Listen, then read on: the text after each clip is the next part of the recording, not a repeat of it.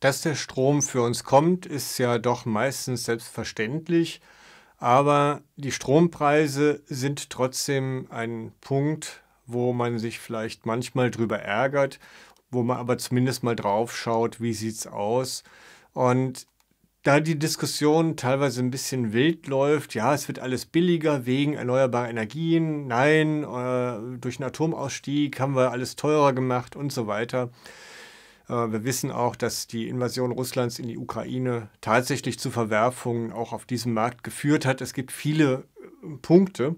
Und was ich immer gerne mag, ist, dass man über einen längeren Zeitraum Daten hat, die halbwegs oder auch gut vergleichbar sind.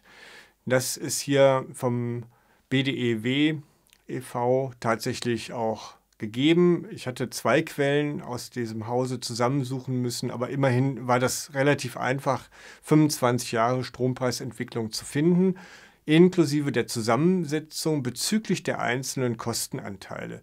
Sie wissen alle, dass wir eine EEG-Umlage zu zahlen hatten, zumindest, dass wir äh, Mehrwertsteuer zahlen, aber es sind noch einige Posten mehr, die relativ kleinteilig den Strompreis dann auf das bekannte Niveau, was Sie letztendlich dann auch vielleicht kennen, ähm, entsprechend erhöhen. Und es sind hier die Haushaltsstrompreise, die wir als normale Kunden bezahlen müssen für den privaten Bedarf. Das ist das Diagramm, hoffentlich so unleserlich, aber vielleicht farblich ganz attraktiv, dass Sie es so nebenbei sehen können.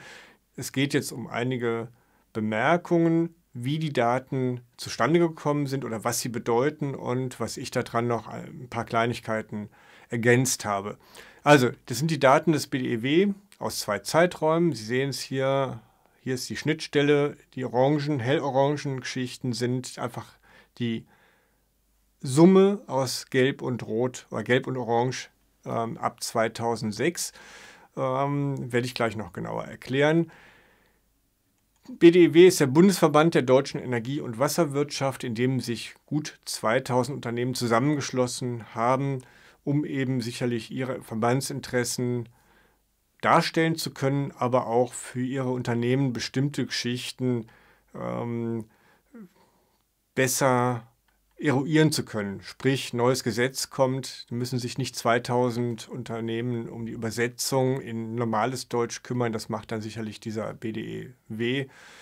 Und es ist ein eingetragener Verein, also sicherlich eine natürlich von der Wirtschaft unterstützte, aber trotzdem auch für uns alle sicherlich sinnvolle Einrichtung, weil sie auch zum Beispiel solche Daten alle ein, zwei Monate zur Verfügung stellt, aktualisiert in einem Strompreisreport und es gibt auch einen Gaspreisreport. Zu dem Hintergrund dieser Daten, wenn Sie Daten darstellen, müssen Sie natürlich ein bisschen auch was sagen, wie Sie die erheben. Es sind Preise für einen Strombedarf in einer Wohneinheit von 3500 Kilowattstunden, eben in einem Jahr. Und das ist etwas, was für eine dreiköpfige Familie, vierköpfige Familie üblicherweise anfällt. Kann man auch alleine schaffen, muss man sich ein bisschen anstrengen. Mit einem Elektroauto schafft man das alleine sicherlich einfach oder mit Wärmepumpe. Die Grundgebühr ist hier in den Strompreis, den Arbeitspreis eingerechnet. Was Sie sehen, ist oft, kostet irgendwo 32 Cent pro Kilowattstunde. Das ist der Arbeitspreis. Der läuft dann proportional zu dem Bedarf an elektrischer Energie, den Sie verursachen. Und dann haben Sie den monatlich zu entrichtenden Grundpreis.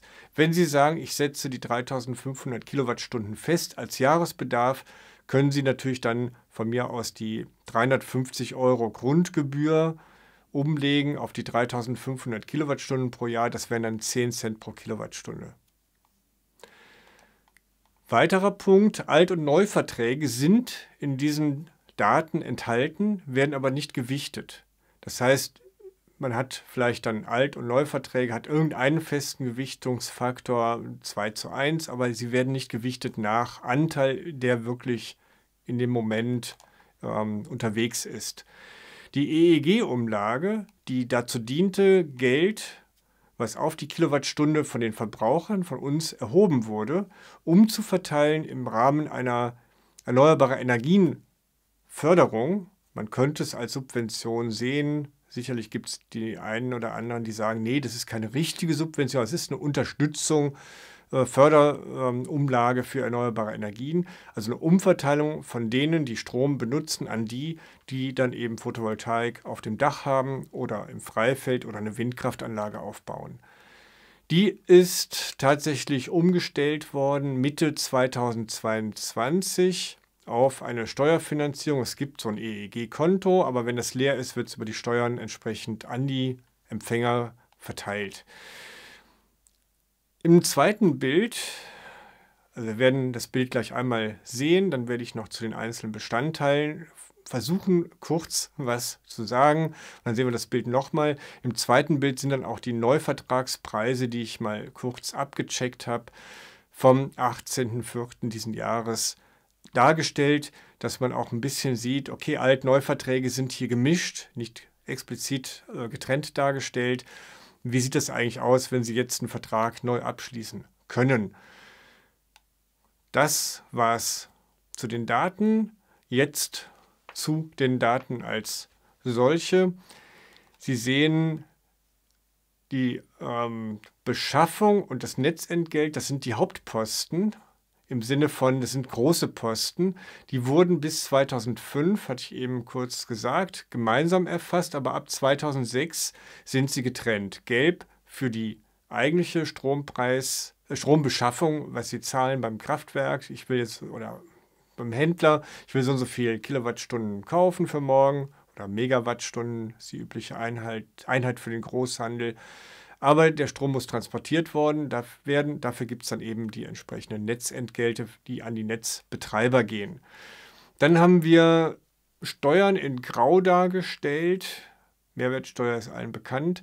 Dann kommt die EEG-Umlage. Das ist das Rote, was ab hier ungefähr finanziert wurde, aber nur mäßig aufwächst, denn nur wenige Leute haben EEG-Umlage ähm, erhalten, weil sie Photovoltaik zu sündhaft teuren Preisen gekauft haben, mit auch sehr hohen ähm, Umlageeinkünften. Ähm, und hier sieht man, dass die EEG-Umlage immer weiter gestiegen ist, was einerseits daran hängt, dass die Anlagen immer stärker ausgebaut wurden, aber sie wurden überproportional stark ausgebaut, denn die EEG-Umlage bezüglich der Empfänger wurde auch reduziert. Das heißt, wir hatten hier zwischen etwa 2006, 2007 und 2017, 18 einen massiven Ausbau an Photovoltaik und Wind. Das Ganze, wie es oft so ist, schwächt sich dann ab. Sie haben die günstigen Standorte erreicht. Sie haben die Leute, die eben auch das Geld für eine Photovoltaikanlage auf dem Dach haben, alle letztendlich bedient. Und dann sättigen solche ähm, Systeme oder solche Systemänderungen typischerweise, zumal ja auch der Ausbau der Speicher nicht stattgefunden hat, aus verschiedenen Gründen extra Video oder fünf extra Videos.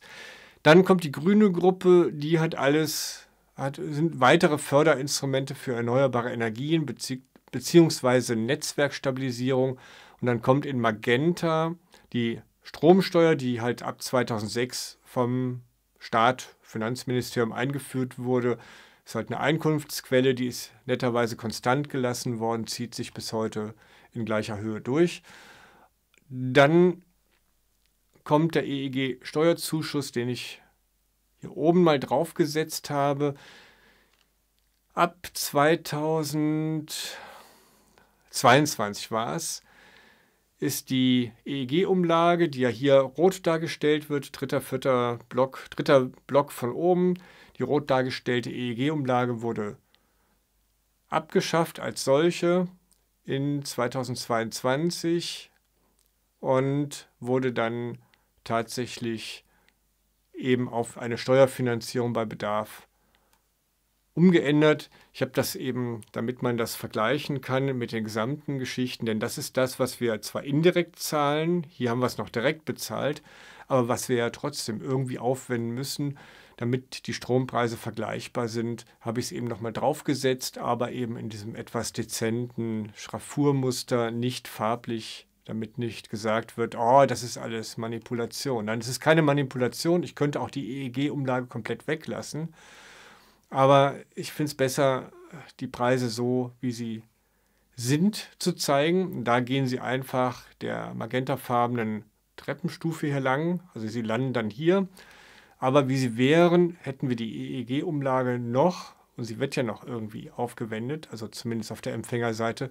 Also ist sie entsprechend markiert. Kommen wir nun zu den einzelnen Punkten, die Sie mit Ihrem Strompreis an die verschiedenen Empfänger abgeben. Wie schon gesagt, Beschaffung ist der Kauf vom Betreiber. Die Betreiber wollen auch ein bisschen Gewinn machen, ein gewisser Anreiz, auch die ganzen Investitionen zu tätigen. Dann muss das Netz betrieben werden, dafür müssen wir bezahlen. Das ist dann das Netzentgelt und das sind die beiden großen Posten. Dann kommt die Mehrwertsteuer auf praktisch alles, was wir so kaufen, auch klar. Dann haben wir eine Konzessionsabgabe, die dient dazu, dass die Netzwerkbetreiber, diejenigen, die dann auch äh, letztendlich Installationen in den Kommunen machen, in den Gemeinden machen, dass die entsprechend auch für die Nutzung der Wege etwas abgeben. Äh, etwas, äh, also die, die Kommunen bekommen dann etwas Geld dafür, dass die Wege benutzt werden durch diejenigen, die dann auch die Leitungen verlegen. Dann kommt die EEG-Umlage bis 1.7.2022 erhoben. Das war dann die rote Gruppe. Die Idee war so ein bisschen von der Farbgebung, gelb, orange und rot sind die Posten, die tatsächlich in die Stromproduktion und Verteilung reinfließen. Auch die EEG-Umlage fließt ja in die Stromproduktion rein, weil die Betreiber Geld pro Kilowattstunde bekommen, wenn sie erneuerbare Energien einspeisen und das dann entsprechend angemeldet haben. Wir kommen nun zu der grünen Gruppe. Die grüne Gruppe an Punkten sind Dinge, die mit den dem Ausbau der Erneuerbaren zu tun haben, direkt oder indirekt. Und zwar ist es die KWK-Umlage. Kraft-Wärme-Kopplung, dafür steht das KWK, ist die gleichzeitige Nutzung von Strom und Wärme, wenn Sie vorher irgendwas anderes reinstecken. Sie können zum Beispiel Biogas in, eine, ähm, in einen, ein Blockheizkraftwerk reinstecken Biogas wird verbrannt in einem Verbrennungsmotor, Blockkraftwerk. Aber es ist ja ein Blockheizkraftwerk. Die Abwärme, in Anführungsstrichen Abwärme dieses Motors nutzen sie, um zum Beispiel warm Wasser zu produzieren, ein Schwimmbad zu beheizen oder eben eine Heizanlage zu betreiben. Und das soll gefördert werden und dafür gibt es eben die KWK-Umlage, Wahrscheinlich bekommen die Betreiber dann etwas Förderung, denn die Anlagen sind natürlich etwas aufwendiger und wir zahlen alle ein Stück weit mit dafür, dass solche Anlagen überhaupt ausprobiert werden, existieren und vielleicht dann auch Energie effizienter nutzen. Dann gibt es die Stromnetzentgeltverordnung.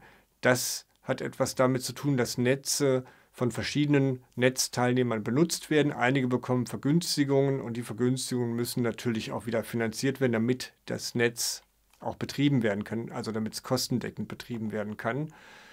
Dann haben wir die Offshore-Netzumlage, die dient dazu, Offshore-Stromnetze von den Windparks an das Land zu unterstützen.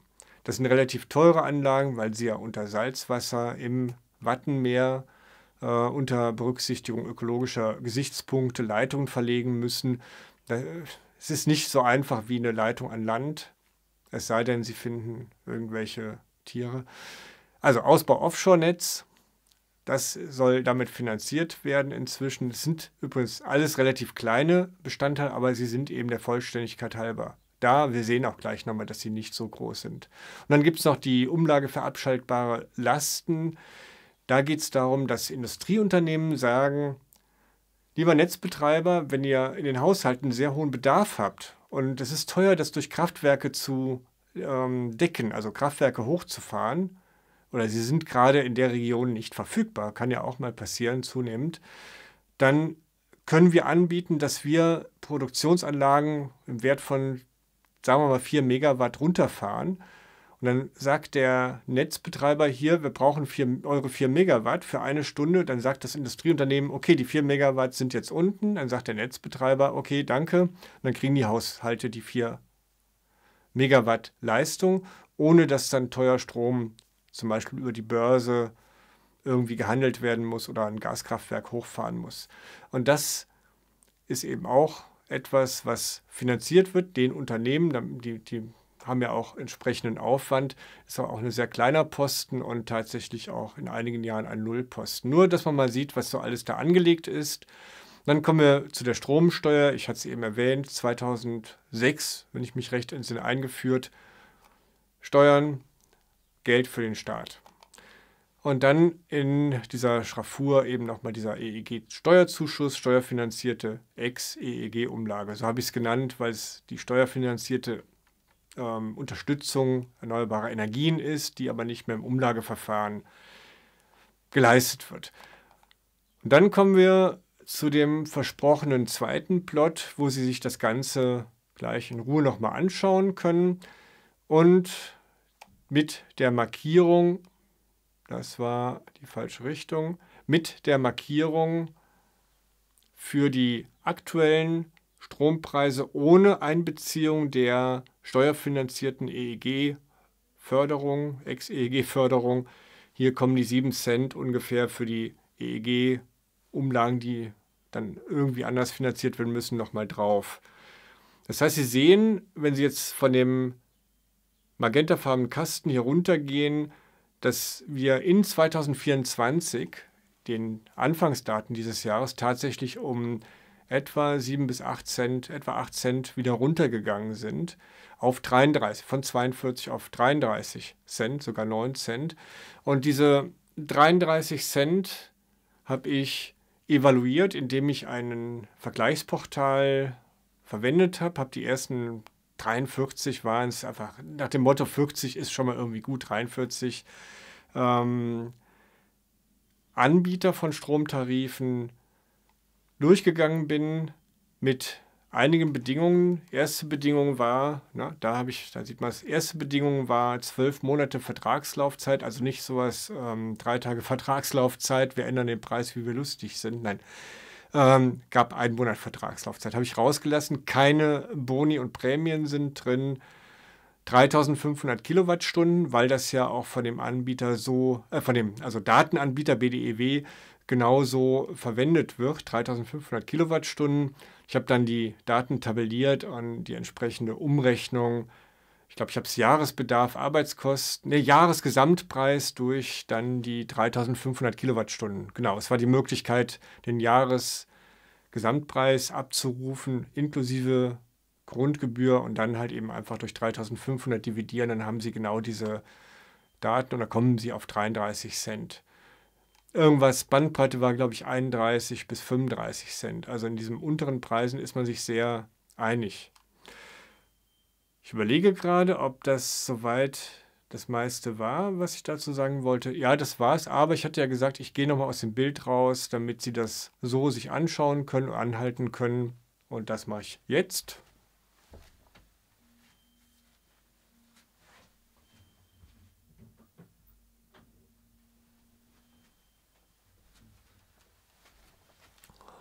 So, jetzt bin ich wieder im Bilde, also zumindest mal technisch gesehen im Bild der Kamera. Noch einmal durchgehen. Also Daten, BDEW, ähm, zwei Datenabschnitte, einmal nicht aufgeschlüsselt Beschaffung und ähm, Netzentgelte. Dann die Bedingungen, wie das gemacht wurde. Das ist hier zu sehen. Das sind diese drei Zeilen, 3500 Kilowattstunden pro Jahr Grundpreis in der Kilowattstunde drin, alte Neuverträge berücksichtigt, aber nicht gewichtet, um eine ungefähre Richtung angeben zu können. Dann haben wir die EEG-Umlage, die hier in 2022 über Steuerfinanzierung ähm, oder ab 2022 über Steuerfinanzierung laufen wird. Und wir haben hier nochmal die beiden ähm, Preismarken, wenn sie jetzt neu einsteigen und nicht im Altvertrag festhängen. Und das soll einfach ein Beitrag sein zur Strompreisdiskussion, wo Sie auch mal die Daten wirklich über 25 Jahre sehen. Man findet diesen Abschnitt ungefähr bis hierhin und dann diesen Abschnitt fertig oder vorgefertigt. Aber in diesem Zusammenhang äh, habe ich es bisher nicht gesehen und ich kann mir gut vorstellen, das weiter fortzuführen. Immerhin habe ich ja die Daten entsprechend im Rechner und auch die Vorschrift, wie daraus ein Diagramm erstellt wird. Danke für Ihre Aufmerksamkeit und bis zum nächsten Mal.